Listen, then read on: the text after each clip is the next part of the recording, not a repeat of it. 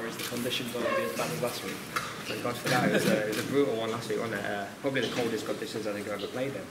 Uh, point in the second half, we couldn't communicate with each other, we were trying to shout and nothing was going to come out. But I was really pleased with the professionalism and the performance last week, and I thought we did a, a good job in difficult conditions, like you said. And, and to get that into before them was exactly what we wanted. And it's a, a crucial time of the season, isn't it? Four games in such quick succession, it can make or break seasons.